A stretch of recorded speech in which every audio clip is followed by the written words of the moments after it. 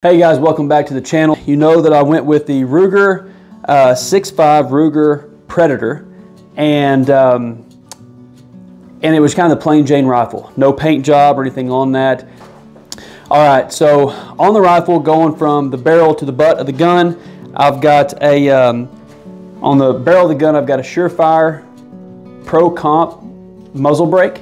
Um, and it works well for this rifle. I've already shot the rifle a few times. We'll kind of go over a target that I've got, but it really takes a lot of the jump out of the rifle. It was comfortable to shoot. It did move up off the target when I shot the rifle. However, it more or less jumped to the left and right and not so much up and down. So that worked out well. It was really comfortable to shoot and wasn't bad, easy on the shoulder, and uh, but of course it's loud. It's a muzzle brake. We all know that. Coming down through here, we've got a Harris bipod. I like running the short bipod. I don't like the long ends on the, on the barrel. Um, it works great for what we're going to do with it. So I'll be able to lay prone with it and shoot longer ranges. And uh, the only thing I would, I, am kind of interested in doing, and, and it's just because I've had this bipod for quite some time, will be adding a Picatinny rail to this swivel to where it's got a QD, a quick detach for the bipod where I can take it off really quick or put it on. Because let's face it, there will be some instances, maybe if I'm hunting out of a tree stand where I'm not gonna use a bipod. So I'll probably take that off and then just use it with a bare gun or something like that. But anyway, that's kind of um, just, just something I'm thinking about later on to be able to, to get for the rifle. Looking at the scope, I went with an SWFA. I've done a lot of reviews on scopes. I didn't want anything that didn't make sense for a budget rifle, meaning I'm spending more than $1,000 for a scope for a $400 rifle. Um, that makes sense in some aspect of it if you're trying to shoot competitive long range, understand that, but again, just trying to be under a thousand bucks for the whole entire thing.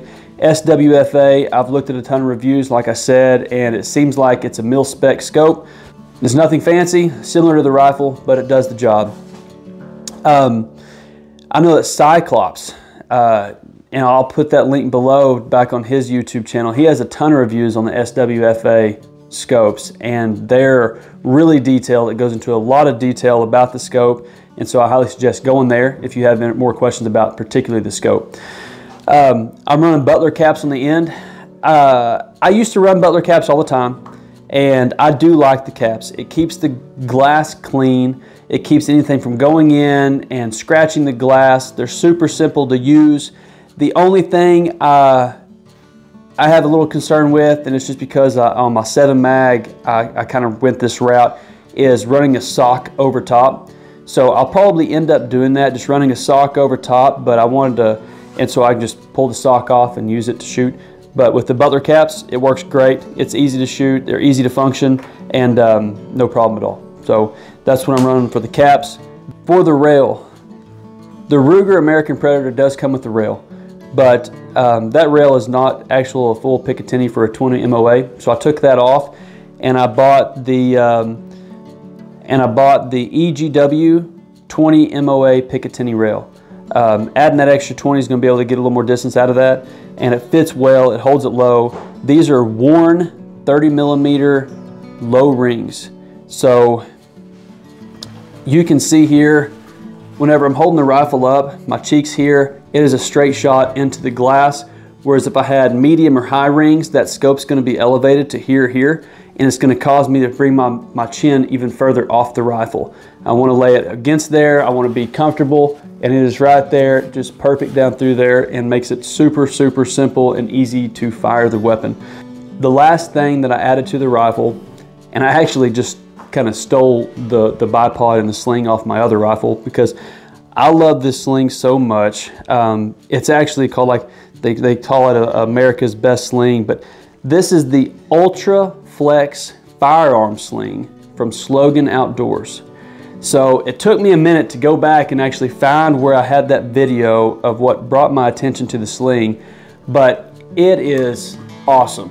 Um, it's a rubberized material, and what I like about it, I mean, obviously it fits just like any other sling, and it doesn't go anywhere. It stays on your shoulder, super comfortable, and the cool part about it is that if you're up in the mountains going So you put this on your, your shoulders just like a backpack and it rides all day long. It's not going anywhere. Um, if you're up mountain hunting or something like that, it can still run with the backpack. So with my day pack, I can still utilize this gun the same exact way. Um, and the other thing is that usually if I do have my day pack, I have a, um, a different kind of holster for my weapon that holds it out front rather than behind me. But if you're, you're day hunting and you can run a smaller day pack or coyote hunting or something like that, I mean, this thing is just super comfortable. And so it fit perfect with this type of rifle. Um, all in all, the rifle, uh, I'm not sure how much it weighs. We had that scale, don't we? Okay. I'm curious, because I really don't know. All right, so pulling up with the scale, the whole entire rifle comes in at nine and a half pounds. So some may look at that and say, well, that's way too heavy for a mountain gun or something like that, but you got to think the bipod, I'll probably take off if I'm running up and down the mountains, just added weight that I could really get by without. I can set this on top of my bag. But even the nine and a half pounds, I've been on both sides of this. And it's a battle I had to cross uh, just to determine what I really like as a rifle on weight distribution. So used to, I always wanted the lightest weight possible on a rifle. And I always thought that I liked that. The only thing is that there's not much stability if you're trying to freehand something, shooting, or if you're shooting it and you're laying down, it's not as heavy on the end, so it's gonna pop off the target even more.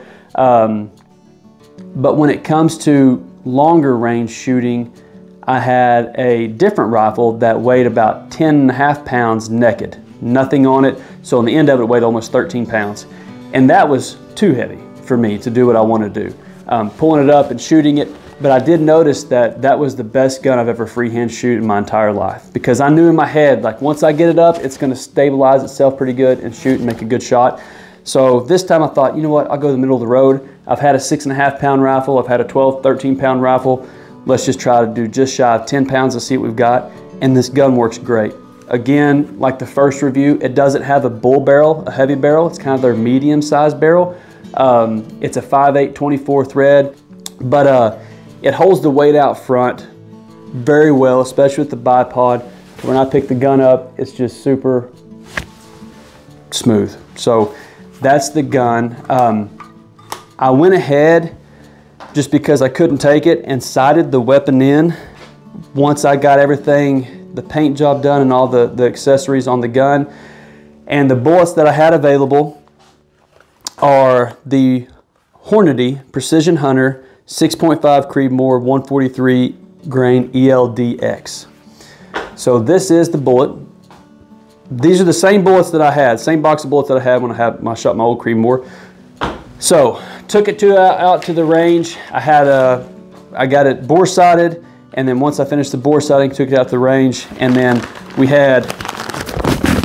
This was the first shot, so I'm aiming for this dot here. First shot, obviously high and left, so put it down some. That's the second shot. Here's the third shot. Once I got the sh third shot, it's okay. I'm gonna I'm gonna put a do a circle. So I put this circle up here, and then I did a four shot group. So this is my four shot group, and it's hard to see, but all those holes are touching one another. And to me, at 100 yards, this is a half MOA, no doubt in the world.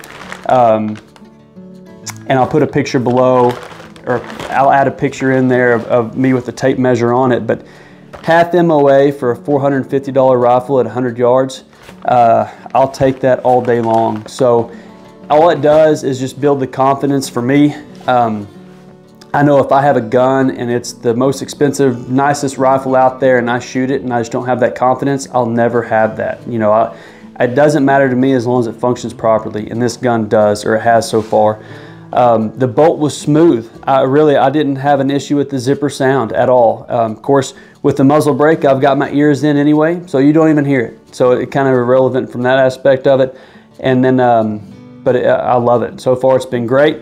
That's the 100 yards. Now, who knows what can happen later, but, and uh, hopefully we'll see you soon. Thanks.